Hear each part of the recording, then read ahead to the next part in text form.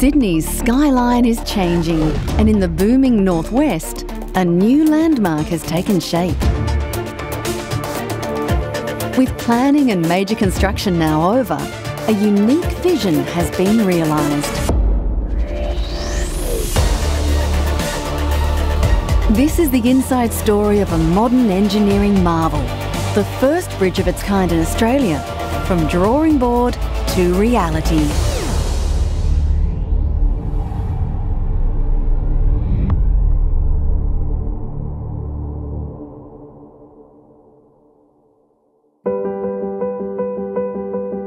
In 2013, John Anderson was handed, literally, a curveball.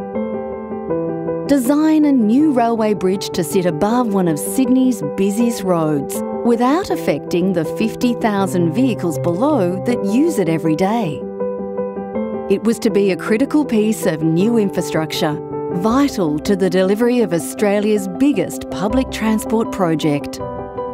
I've been working on this project for four years not eight hours a day, five days a week, but pretty much 365 days a year for the last four years. The 66 kilometre long Sydney Metro is a project of many firsts. This bridge is one of them. It's the crucial gap between the train stabling and operational headquarters and the rest of the metro network. Crossing Windsor Road at Rouse Hill came with its own unique set of challenges.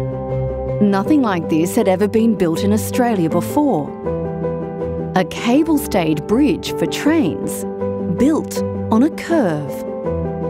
It's an amazingly challenging project because it's not a recipe. There isn't another bridge out there that we essentially we can go open a book, read a paper, and it will tell us how to design this bridge. John was thrown a curve in more ways than one that would put his engineering skills to the test. I think it's important from a design point of view that you look at each project individually, its context, your client's requirements, the functional requirements that are needed in the design. There is always creative opportunity in the design process, but often you're led there by the, uh, the functional requirements of the bridge. The challenge in this project was to design a structure that was empathetic to its surroundings, and the cable stayed bridge was better suited to the context in Rouse Hill. We didn't have the option to say, sorry, but we don't want the curve. After considering numerous design options, it was decided a cable-stayed bridge was the most practical solution for this job using essentially the same construction methodology as the 4 kilometre elevated SkyTrain viaduct which leads up to it. Together, they're the most visible part of the Sydney Metro project in the northwest of Sydney. The rest of it is deep underground, in twin 15 kilometre tunnels. One of the biggest aspects of us choosing a cable stayed bridge is that we could build the deck of the bridge in a similar method to the way that we built the viaduct deck and superstructure. We could use the overhead gantry to build the cable stayed bridge. The real driver was the constructability, and obviously, along with that constructability comes an economy. With this pivotal decision made, it was now time to forge ahead and create Australian history. Highly complex engineering, a cable stay bridge for a railway on a curve running over a very busy road. The towers hold the cables, arrive, lifted into place.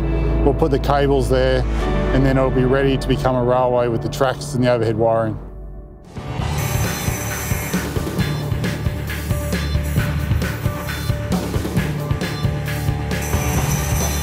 The most visually striking elements of the bridge are its two towers. Made in Western Sydney, then delivered in the middle of the night across the city and installed in a precise military-style operation. So the steel towers for the bridge are functional. They're an integral part of the structure. They're definitely not decorative. They essentially transfer the load from the deck to the tower to the foundations below. There are 32 cable stays in total on the bridge. Each wire can be replaced in the future if it needs to be, and each wire has its own corrosion protection system. This cable stay bridge highlights just how much work we put into the planning and the early work in getting this project right. We looked at all of the future needs of Northwest Sydney and the needs to upgrade Windsor Road in the future and we came up with a solution that would allow that to occur without any impact on the bridge in the future, without any impact on the rail services. The result has become a landmark for Sydney's northwest, which will serve public transport customers for generations to come. Bridge design is really a team effort. We feel privileged to be involved in this project. We really hope that it will fit into the context of the metro and of the local community. It's a fantastic landmark. It looks great and people will be able to always recognise where they are just by looking out the window and seeing the bridge. With the bridge now complete, tracks are being laid and overhead wiring installed so that new metro rail services can start in the first half of 2019. This is Sydney Metro, the biggest urban rail infrastructure investment in Australian history.